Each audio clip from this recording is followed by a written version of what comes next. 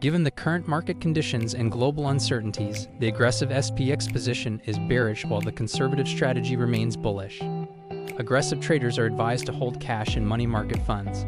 It is crucial for investors to monitor global events, economic indicators, and market trends to make informed decisions about their investment strategies. The video link below explores the world of the stock market, exploring its key points, interesting facts, and insights to captivate you in more detail.